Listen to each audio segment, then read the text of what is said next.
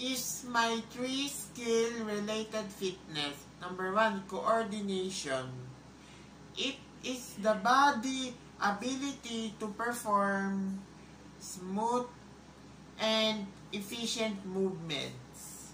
Here relates your ability to use senses and body parts in order to perform motor tasks smoothly and accurately accurately.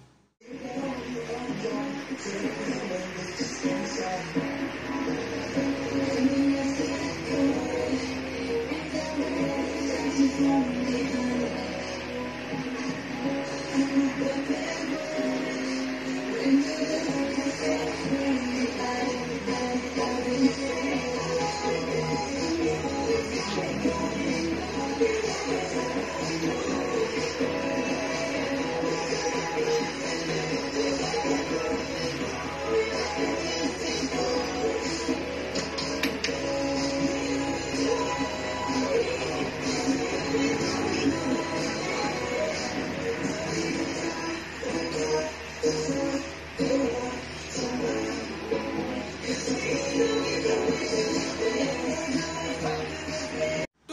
power refers to person's ability to transfer energy into force at a rapid pace power is considered to be a combination of strength and speed.